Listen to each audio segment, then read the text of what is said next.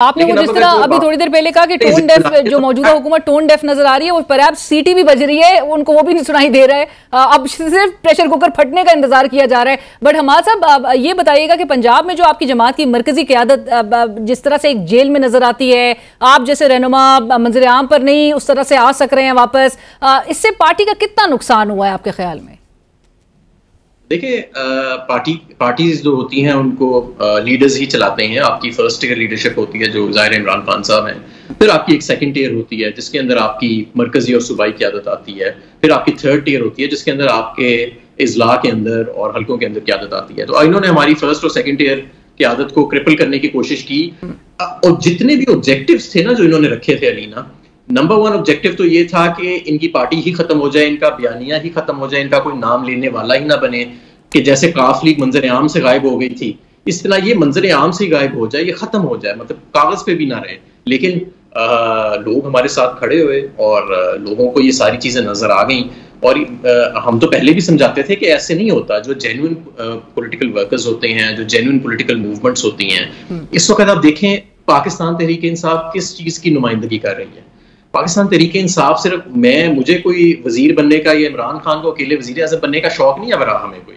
ये शौक हमारे पूरे हो चुके हैं। इस वक्त पाकिस्तान तहरीके इंसाफ नुमाइंदगी कर रही है, यूथ की, और एक मुस्तबिल की। आपको जो असली पाकिस्तान है ना, जो टैलेंटेड पाकिस्तान है, जो यूथ है, जो नौजवान है, जिसका मुस्तबिल दाव पे लगा हुआ है, वो चीख चीख कर पुकारता नज़र आ रहा है कि मैं अपने मुल्क के मामला अपनी मुमलिकत के मामला मजीद ऐसे नहीं चलाना चाहता जैसे हम्म। पहले चले हैं और खास पे पिछले दो साल में चले हैं। हम उस जज्बे की और हम उस आ, उन एहसास की उन तस्वरत की नुमाइंदगी कर रहे हैं। अगर आप हमें दबाएँगे तो आप सिर्फ़ हमें नहीं दबा रहे। आप पूरे पाकिस्तान की वो आवाम जो नया पाकिस्तान है जो बेहतर पाकिस्तान की तरफ़ है आप उनके एहसास उनके तस्वरत और उनकी ख्वाहिशात को दबा रहे हैं। और कौमों को कभी भी दबाया नहीं जा सकता। ये 2024 आ चुका है 1924 नहीं है। यहाँ डंडे के ज़ोर के ऊपर आप नहीं दबा सकते। यहाँ ट्विटर को बैन करने से आप लोगों की आरा को नहीं रोक सकते। लेकिन हमारे साहब वो तो वो तो आपको पेशकश भी कर रहे हैं। मौजूदा हुकूमत भी हुक्मरान जो है वो पेशकश कर रहे हैं। आए हमारे साथ मुजाकरात करें। राना सनाउल्ला साहब तो बार बार पेशकश कर रहे हैं। इमरान खान साहब अब क्या चाह रहे हैं? सियासी जमातों के साथ वो बैठना नहीं चाहते। जिनसे वो बात करना चाहते हैं वो दिलचस्पी नहीं रखते। सो अब मामला आगे जाएगा कैसे? देखें अलीना बात यह है कि राना सनाउल्ला साहब ने आपने देखा कि 25 में दो साल पहले से लेके पिछले दो साल तक इनका क्या किरदार रहा? किस तरह ये हर हफ़्ते टीवी पर आते थे अवाम को डराते थे धमकाते थे? अवाम ने उनको इसका ये सिला दिया कि राना सनाउल्ला साहब अपने हल्के से इलेक्शन हार गए। हम्म। और इनके साथ थी इनका लीडर नवाज़ शरीफ अपने हल्के से इलेक्शन हार गए मरियम नवाज़ जो वज़ीर आला है वो अपने हल्के से फॉर्म 45 के मुताबिक इलेक्शन हार गए। अब ये लोग हमें कहते हैं कि जी हमारे साथ आके बैठे जबकि ये लोग बेनिफिशरीज हैं। हम पहली बात ही ये करेंगे कि भाई हमारा स्टोलन मैंडेट वापस करो। यानी जो हमारी चोरी की सीटें हैं वो वापस करो। जब हम उनसे ये बात करेंगे तो वो जो लोग हमारे सामने बैठे हैं, उनकी वजारतें भी चली जाएँगी, उनकी अपनी नशस्तें भी चली जाएँगी। अगर हकीकी तौर पर जिन लोगों को वोट दिया है अवाम ने, अगर वो लोग सामने आ जाते हैं तो ज़ाहिर है ये सारे तो खत्म हो जाएँगे। तो इनसे फिर बात तो उधर ही खत्म हो जानी है ना? मतलब पहले तीस सेकंड के बाद बात खत्म हो जानी है। जिन्होंने इनको मुंतखब किया क्योंकि अवाम ने तो इन्हें मुंतखब नहीं किया जिनके ये नुमाइंदे बन के सामने आए हैं जिनके लिए ये काम कर रहे हैं बातचीत तो उन्हीं से हो सकती है ना? क्योंकि उन्हीं वही पीछे और से ये स्ट्रिंग्स पुल और ये और ये बातचीत हो भी रही है जिस तरह से खैबर पख्तूनख्वा के वज़ीर आला कह रहे हैं कि बातचीत हो रही है। आ, मुझे नहीं पता कि आ, वो बातचीत जो कर रहे हैं उसके हवाले से मुझे तो इल्म नहीं है। मेरे तो इल्म यही है कि वो अपने सूबे के मसाइल के हवाले से ही बातचीत कर रहे हैं। अगर कोई और बातचीत कर रहे हैं तो उसका मुझे इल्म नहीं है। बाकी सारी बातचीत करने का तो जवाज और इख्तियार जो है वो इमरान खान साहब खुद ही रखते हैं।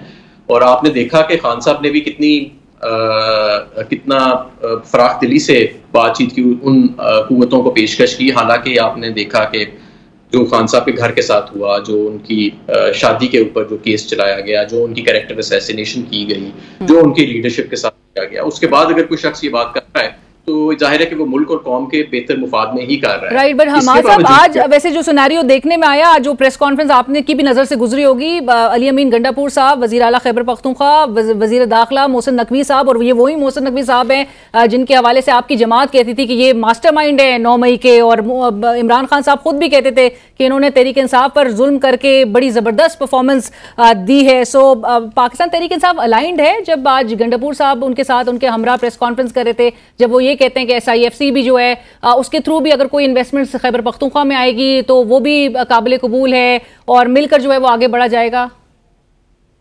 देखिए इसका जवाब तो अली बिन गंदापुर साहब ही लेकिन पार्टी आपका आपका बतौर एक प्रेसिडेंट आपकी आप एक बड़े सूबे के अपनी जमात को रिप्रेजेंट कर रहे हैं सो आपका रद्दमल क्या है इस पे? Uh, मैं ये समझता हूँ कि ये हम डिस्कस करेंगे हम पॉलिटिकल कमेटी नहीं लेकिन अवॉइड अवॉइड करना चाहिए था गंडापुर साहब को या खुशाइन था ये बात? मेरे ख्याल में ये हफ़्ता ऐसा था कि इसमें बहुत ज़्यादा चीज़ें ऐसी हुई। हमारे दफ्तर को गिराने की कोशिश की गई। रऊफ हसन साहब पर हमला किया गया। शाह महमूद कुरैशी साहब को मजीद जाली पर्चों में फ़ाइल के ऊपर गिरफ़्तार करने की कोशिश की गई। तो इसके अंदर बहुत सारे ऐसे वाक़ात हुए जो आ, जिसने बहुत ज़्यादा तलखी और अदम इसकाम पैदा किया पाकिस्तान की सियासत में बार मुझे नहीं पता देखें मोहसिन नकवी साहब का इशू ये है अली अमीन साहब अगर उनसे मिले हैं कि मोहसिन नकवी साहब सिर्फ़ वज़ीर दाखिला नहीं है। वो डी फैक्टो इस मुल्क के वज़ीर आज़म भी हैं वो वज़ीर अला भी हैं वो आ, वो एक बाइंडिंग फोर्स भी हैं बजाहिर।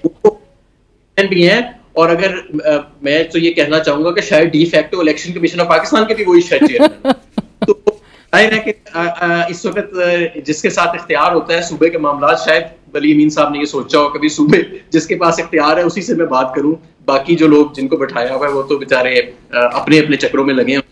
तो मुझे नहीं पता, बहरहाल ये जब बात क्लियर होगी हमारी पॉलिटिकल कमेटी में तो फिर मैं वाजे को इसके ऊपर मौका राइट right. ये आखिर में बता दीजिएगा हमाद साहब, जो आपने शाह महमूद कुरैशी साहब का ज़िक्र किया कुरैशी साहब के मजीद आठ मुकदमात उनके खिलाफ जो है वो सामने आ गए हैं नौ मई से मुतालिक सो आपको लगता है कि ये एक इशारा हो गया है कि इमरान खान साहब को साइफर केस में मुमकिन तौर पर बहरहाल जमानत मिलने के बावजूद जेल से बाहर नहीं आने दिया जाएगा मैं आपको एक बात बताऊँ, मेरा ये अंदाज़ा है, गलत भी हो सकता है, लेकिन मेरा ये अंदाज़ा है मेरी ये राय है। कल इन्होंने जो छुट्टी अनाउंस किया ना कोर्ट्स के अंदर, मुझे लगता है कि ये छुट्टी भी इन्होंने इसलिए अनाउंस किया कि कल साइफर का केस ना सुना जाए, क्योंकि वो केस कोलैप्स कर गया। जिस तरह इद्दत का केस कोलैप्स किया, जिस तरह अलकादिर ट्रस्ट कोलैप्स कर रहा है केसेस कोलैप्स करते जा रहे हैं, क्योंकि केसेस नौ मई के केसेस कोलैप्स करते जा रहे हैं, क्योंकि केसेस की बुनियाद कोई नहीं थी। केसेस की बुनियाद थी कि बस अंदर डाल के हरासा करो पार्टी छुड़वाओ और आगे का काम करो पार्टी खत्म करो, वो हुआ नहीं। तो हाँ ये बात आपकी बिल्कुल ठीक है अलीना मैं आपसे बिल्कुल मुतफिक हूँ। मैं समझता हूँ कि ये जो नए केसेस के अंदर बाय द वे ये इलीगल है। वंस लॉ ये कहता है एंड इट्स वेरी क्लियर कि once you are arrested in one case you are deem to have been arrested in all cases that you are you are being proclaimed और wanted in तो ये इन्होंने खैर गैर कानूनी किया लेकिन ये जो इन्होंने हरबा इस्तेमाल किया कि शाह महमूद साहब को नए केसेस के अंदर फ़ाइल के ऊपर गिरफ़्तार करने की कोशिश की, ये इसी चीज़ की निशानी है कि साइफर केस कोलैप्स कर रहा है। और वो शाह साहब को मजीद नहीं छोड़ना चाहते हम्म। और मजीद अंदर रखने के लिए कोई बहाने तलाश किए जा रहे हैं। यही मैं आपको बात कर रहा हूँ कि इस तरह अगर मुल्क का निज़ाम नहीं चल सकता ये प्रेशर कुकर को ही को आप मजीद स्ट्रेस के अंदर लेके जा रहे हैं। और बार बार हमने जितनी अभी तक वार्निंग्स दी थी मुल्क की जमहूरियत के हवाले से मुल्क की सियासत के हवाले से वो ठीक साबित हुई हैं। और अब भी हम आपको यही वार्निंग दे रहे हैं कि इससे अदम इस्तेकाम बढ़ेगा और आप आवाम को एक कॉर्नर में पुश ना करें। Right thank you so much बहुत शुक्रिया हमाद अजहर साहब. इस वक्त हमारे साथ मौजूद थे पाकिस्तान तहरीक इंसाफ पंजाब के सदर और इसी के साथ ही बढ़ेंगे एक ब्रेक की तरफ़. ब्रेक के बाद जब वापस आएँगे बिलाल अजहर कियानी साहब रहनुमा मुस्लिम लीग नवाज़ और मेंबर आप हैं कौमी असम्बली के. आ, वो हमारे हमें ज्वाइन करेंगे और हम बात करेंगे कल जो होने जा रहा है नून लीग का जनरल काउंसिल का इजलास जिसमें नवाज़ शरीफ साहब हमें नज़र आते हैं. He is all set to become party's president एक ब्रेक के बाद.